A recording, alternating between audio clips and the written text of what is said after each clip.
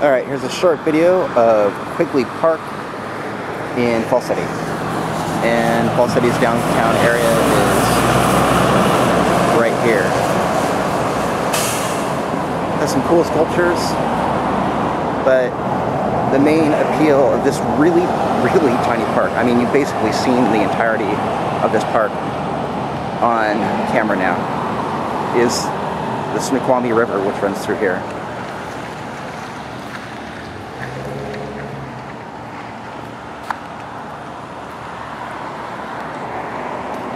See if I can get a good view.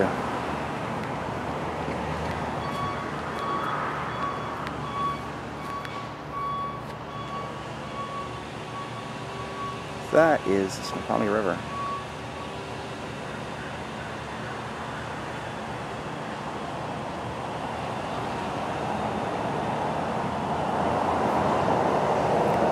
It runs all along the park here.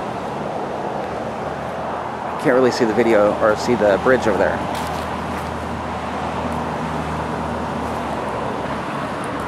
So what do you think? Good park?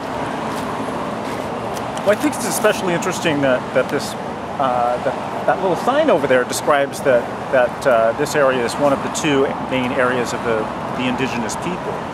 And uh, also what that sign that I just read describes is that um, that steamboats back in the 1800s used to, small steamboats and small boats from Everett and Seattle uh, would make their way up to this town, which was at that time called Falls City, Ah. as opposed to Fall City, which is called now. Uh, and they'd bring supplies and take back, you know, like the local products like bacon or timber, right? and no, well, yeah, apples and Oh, good yeah. stuff. But yeah, that's really interesting. And the reason that those boats wouldn't go any further up upstream is because Snoqualmie Falls is up there.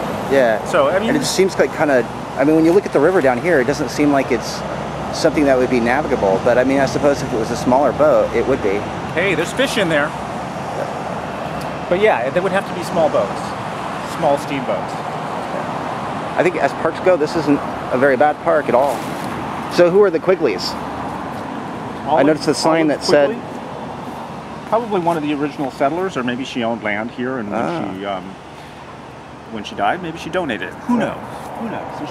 I'm sure there's informational word wordage that describes it. Yeah. Kind of a nice, like, little waterfront park next to downtown, or uh, part of downtown Falls City. You know what? It caught my interest though is this house over here. Check that out. Nice, like this is probably one of the very original homes that's just been really kept up. Unlike probably a lot of them that have fallen to pieces, but I mean, it even has like the little walk on the very top of the house up there. The what do they call it? The widow's walk or something? That is a very neat home.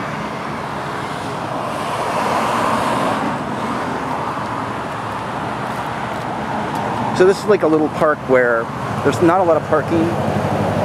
I mean, you're just literally right along the uh, main area. It's a picnic park basically, where you come have a nice picnic, learn about some history of Fall City, stuff like that. Yes. There's the bridge that you cross over to get over here is over there, although it's really difficult to see. And your your whopping, amazingly modern facilities to uh, utilize if you need to get rid of some coffee are right there. So Right. use with care, people, please. And uh, right. And so actually, Fall City. I didn't know this. I, I didn't know this exactly, but Fall City is like at the confluence of the Snoqualmie River and the Raging River. The Raging River. No, no, no. I'm kidding. I'm not kidding. Um, Is that what they're calling it? So yeah, I guess that's what that bridge is, is spanning. Is Ah. where they where the Raging River and the Snoqualmie River join. Oh, we'll have to go check that out or something at some point. Anyway, that's like a little video for, for now. Thanks everybody for watching. From Fall City to you. Have a great day.